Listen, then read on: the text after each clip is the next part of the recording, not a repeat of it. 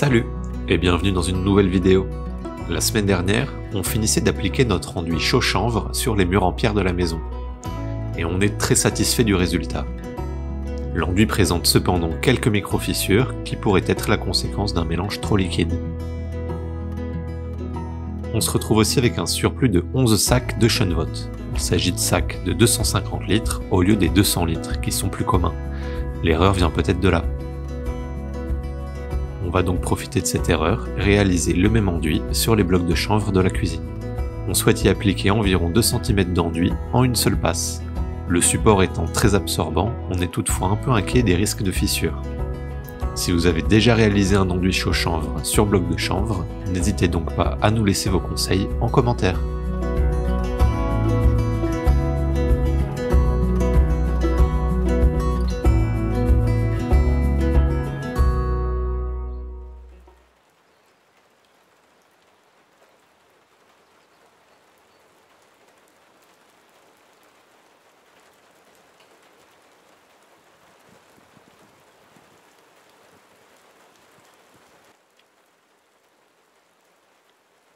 Sei un po' bagnata, Caio.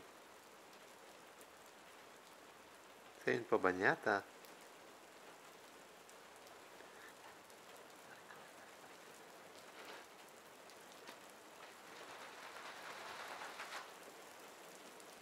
Pour changer les idées, on décide de continuer un ou deux chantiers laissés en suspens. On reprend donc la pose du fermacelle dans le salon et dans la buanderie.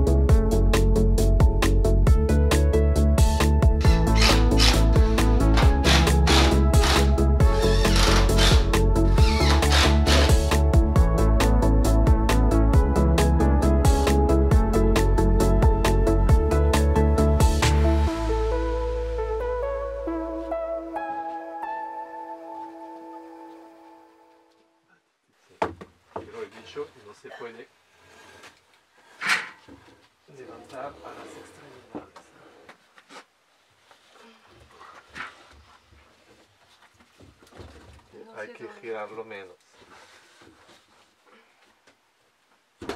ah no si rompe no non si rompe si, si rompe ma di si, rotto. si è rotto okay. vabbè funziona igual no? no tenemos que quitarla ¿Cómo? la su un dos baja joder ¿qué hago? sujetas la tuya? si.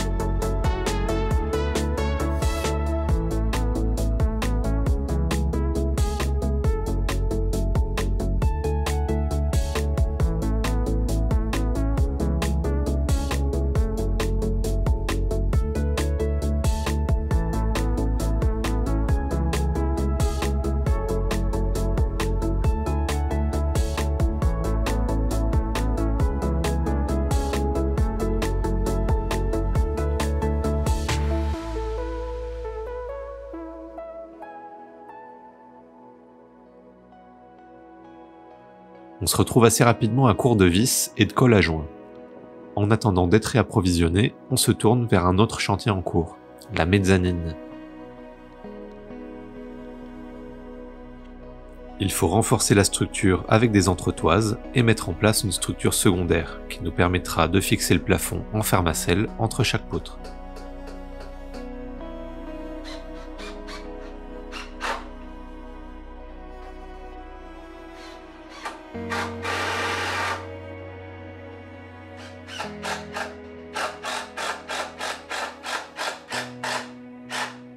Procède ainsi pour économiser un maximum de hauteur sur la mezzanine, car la hauteur sous plafond dans les chambres est imposée par la loi, 2,70 m minimum. En posant notre fermacelle entre chaque poutre, on conserve la structure en bois apparente tout en gardant une épaisseur pour isoler le plafond.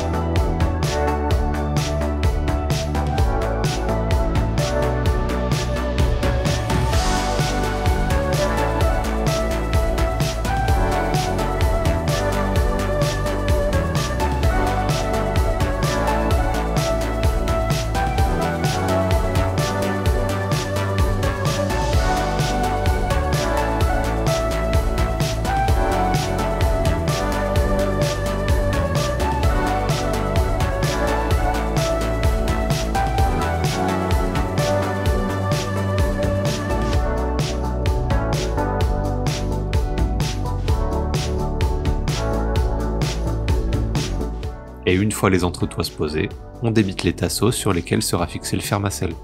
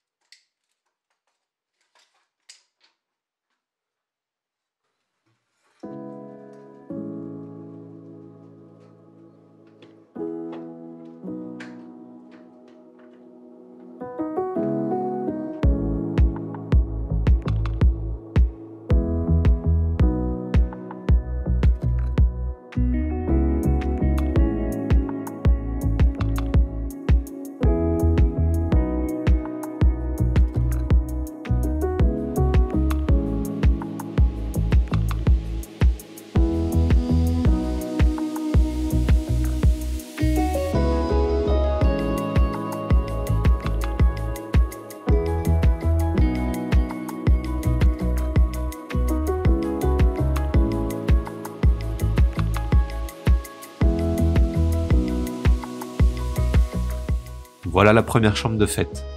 L'ensemble est déjà beaucoup plus rigide et les quelques vibrations que l'on ressentait auparavant ont complètement disparu.